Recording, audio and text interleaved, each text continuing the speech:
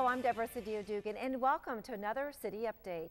Phoenix Police has officially kicked off Operation Safe Summer. Now, this task force targets underage drinking, underage parties, curfew violations, and gang-related activities.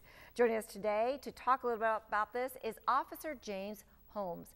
He's going to tell us what this task force is all about. It's great seeing you. Thank you. I know you're a very, very, very, very busy person keeping the streets safe here in, in Phoenix.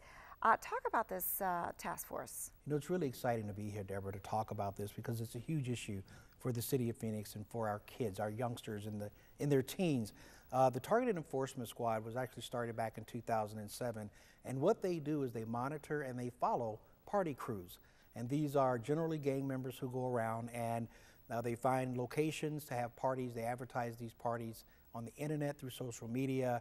And then unfortunately, a lot of our kids end up going to these parties. They pay money to go in, they get to drink. Of course, they're all underage. And then often, more often than not, there's some type of a tragedy that brings this to light. And so today we're here to talk about what these people do. So these party crews, I mean, they're, they're mostly gang members or just a group of people or just posting things on the internet, using social media, texting. I mean, how do people find out about this? Well, and that is how they find out. You know, a message will go out via Twitter, okay. uh, it'll go out on Facebook, and then that message will be spread, uh, you know, throughout all of the folks that would be involved with this. And they, at some point, trickle down to our, our teens who have nothing really to do with these gang members, nothing to do with these parties, but it's the curiosity factor. And generally, when you get one or two teens that say, hey, let's go, then the next thing you know, you've got two, three, or four that are going to these parties. They're paying five bucks to get in. They know they're going to get alcohol. There's often drugs, at least marijuana, um, ecstasy. And the problem is, if it's gang related, that means that there's gang personnel there. There's rival party crews, there's rival gangs. This is where we start to have the problem because now you've got weapons involved. Someone wants to break up a party, I'm a better crew than you are, that type of thing. And again, we end up in, with tragedy. Now, oftentimes, where are these parties being held? Are they empty homes, residents? Maybe people are gone away from the summer and they're just heading. Where are they taking place at? Sure, it's kind of surprising. Now, the ultimate location, of course, is a home that um, the the party crew members think is abandoned. Uh, there's been no one there. Uh, there there's indications, mail, uh, rubbish, blight in the yard, and they'll try to find one of these locations. But they've actually been held at regular people's homes, at parents' homes that, that are maybe uh, out for the weekend or gone, you know, on vacation or whatever. Uh, but they will use just about any location to have these parties uh, because they know they're only going to be there once for one night into two, three, four o'clock in the morning, and then they're gone. And you talk about tragedy because obviously we're mixing um, underage drinking, uh, possible drugs, and when you're talking gang members, I'm, I'm assuming most likely there's guns involved with all that. You know, and that's what we're concerned about. It's not only uh, gang members, we're concerned about um, uh, wannabe gang members, members, if you will, that want to have their own party crew that think they can do the same thing and, and make money. But when you take alcohol, underage drinking, uh, drugs, possible weapons, cars, then you're absolutely looking for disaster. Anything from an overdose on uh, alcohol or drugs uh, to a shooting or a fight to a traffic collision that turns fatal because there's some child trying to get home and they're under the influence of drugs and alcohol. So there's just a whole uh, gamut of things that can go wrong.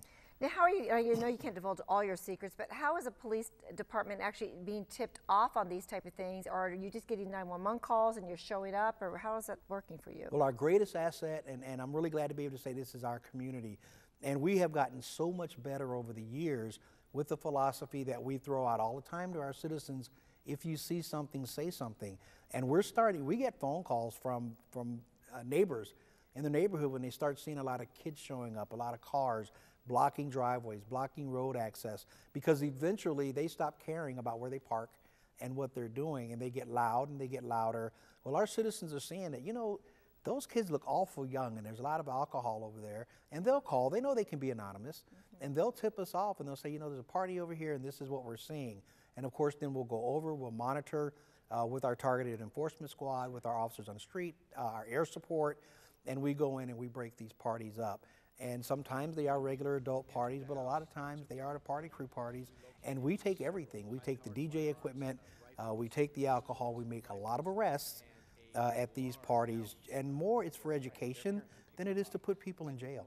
Well, what you're doing is making such an impact. Uh, Matt, if we could put up on the screen right now, we have some numbers and some stats from last summer of the, of the number of arrests and felonies and whatnot. And just go over these numbers. It's incredible. 835 arrests just last year.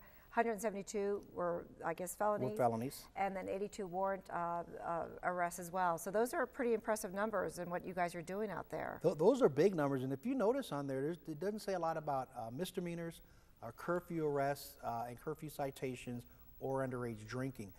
These are what we're finding that are in the vicinity of these parties that we're talking about. And we're talking about felons. We're talking about drugs. A lot of those arrests are either gun or drug related. Uh, and, and that's what we're getting warrants. We have so many people with felony warrants that are in the vicinity of these problems of, of these parties. And these are what our kids don't know. These are what our parents don't know.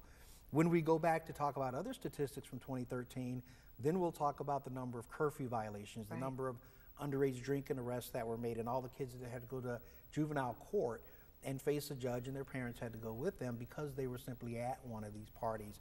But those numbers are the main numbers, and we want those up there because what we want people to see is that these felons that are out there with drugs and guns and, and uh, violent crimes mm -hmm. are the ones that are attending and holding these parties. Incredible. And we didn't even touch upon uh, DUIs and just getting behind the, the wheel of impaired drivers, whether it be drugs, alcohol, and combining underage drinking and uh, uh, uh, underage drinking and driving. Absolutely, so and, and, we, we can we could talk uh, tragedy after tragedy over the right. years, um, but we've had several uh, here in Phoenix where you have four or five kids who are in a car, inexperienced, three o'clock in the morning, uh, possible drugs and alcohol or alcohol on board, and we have these huge, tremendous collisions involving mm -hmm. these children, and two or three of them, in several occasions over the last five years, have died. And we've been able to determine that the reason they're out at three o'clock in the morning is that they were attending a party somewhere where probably their parents had no idea sure. where they were and what they were doing. So speaking of parents, I mean, what's you know, I'm a parent, you're a parent. Uh, what's what's the best advice would you give them? I mean, you know, we, we say till we're blue in the face, don't do this, don't do this, you know, and it always, you know, we teach our kids when they're little, we protect our homes, we make sure they wear their helmets and their pads and all these little things to make sure that they're safe as they're sure. growing up.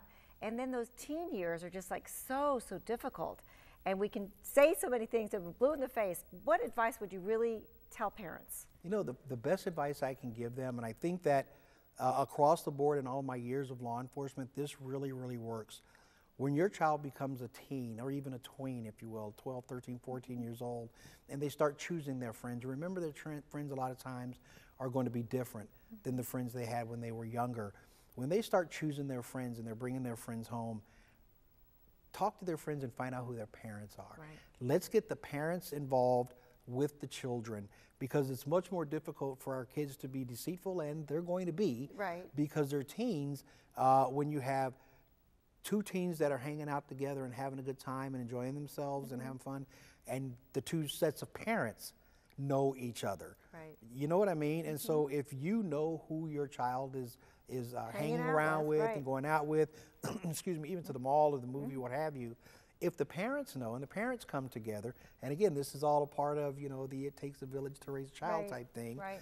Um, if the parents know who the parents are of the kids that are with each other, it's going to make it a lot more difficult for the, the teens to stray. I think it's very important, but the biggest thing, of course, is trust. There mm -hmm. has mm-hmm. got to be trust between the parent and the child, and that has to start way, way back at five and six years old. When they're young, absolutely. Yes. And the whole thing about knowing your knowing their friends, if there's something amiss where they're not bringing their friends around, all of a sudden they have all these new friends, they're like, wait, who is this person? How do I know? You know, this, it's, it's, there's a lot of, lot of, uh, a lot of answers, a lot of questions. So it's, you know, it's great what you're doing. So, so important for our community because it's all about public safety for our youth, our Correct. young people, and as well as when they get on the road. So um, thank you so much for everything you do and the Phoenix Police Department. Uh, we really appreciate it. Absolutely. And thank you for giving us this opportunity to come out and talk about this. It's so, so important and it's all of our responsibility to take care of our kids out there. Absolutely. Thanks again, officer. We appreciate it. Sure. So again, I know it's a tough uh, conversation, but for parents, guardians, you know, it, it, it's difficult, but ask the questions. Know your children's friends. Ask them what types of social events they're attending and let um, them know the dangers of these party crews, of underage drinking, uh, drinking and driving, all of those things. We want you to be safe out there. For City Update, I'm Deborah Sedillo Dugan.